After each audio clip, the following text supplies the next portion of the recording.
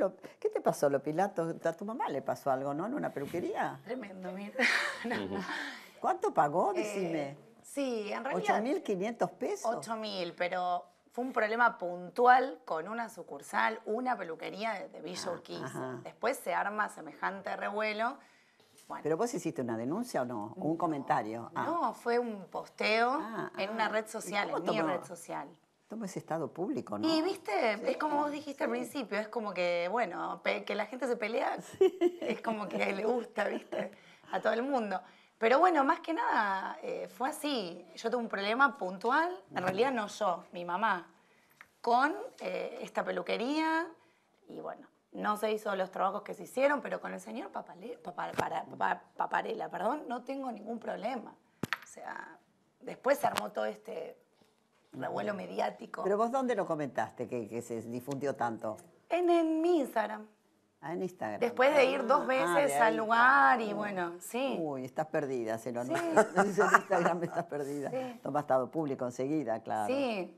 Pero bueno, eh, sí, después eh, la verdad es esa, es que salió a hablar el señor Paparela y está muy bien porque él está defendiendo, es, justamente es una franquicia. Sí. Pero, no, Pero problemas con, con, la verdad que con el señor no había ninguno.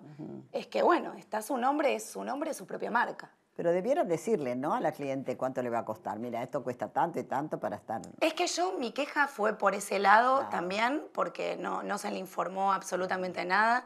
Y bueno, y mi mamá salió de ahí, no sabía qué hacer tampoco. Eh, todos me dicen, de- ¿por qué no? hacer una pregunta Sí. tonta. ¿Le alcanzó la plata para pagar o era con tarjeta? No, pagó con tarjeta, Con tarjeta, porque claro. además no se va a ir sin pagar. Claro.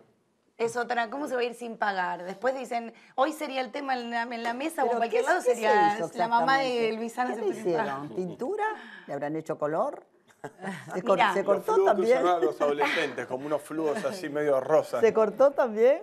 Se hizo varias cosas, ¿Sí? claro, pero nunca llegaba a la cifra. La verdad, no, ma, nosotras las mujeres por lo menos sabemos lo que uno gasta en una peluquería y, y nunca... Era, era una franquicia, ¿no es cierto? Claro, es una franquicia. Sí, Paparella Lleva el nombre Que va a iniciar una acción judicial, ¿eh? ¿Amenazó con llevarte a juicio o no? No. ¿No? No, no, de hecho yo ya hablé, ya hablábamos con su gente de prensa y reconocen los errores, eh, el mal manejo que hubo, porque es una franquicia de él. Sí. Entonces, realmente reconocieron que hubo teléfonos descompuestos. Sí, de sí. hecho, él cuando hablaba, hablaba en tercera persona, era por lo que le contaban a él. Si, como dijo bien, nosotros no lo conocemos, nunca estuvimos con él, mi mamá nunca se atendió con él. Eh, ¿Vos sos la yo- hermana mayor de Darío? Sí, Diana? sí. Ajá.